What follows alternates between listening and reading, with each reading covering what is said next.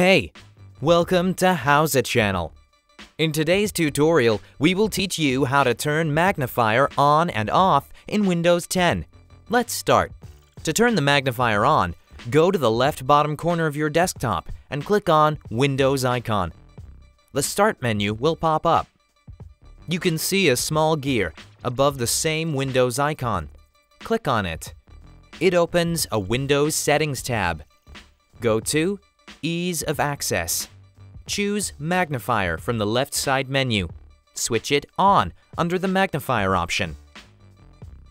There are a few ways how you can use magnifier. Click on View and choose Lens. With the help of this feature, you can zoom in the part around your mouse point. Click on Magnifier Glass, then click on View and choose Docked. It will dock a part of your screen on the top of your desktop and will zoom in the area around your mouse pointer.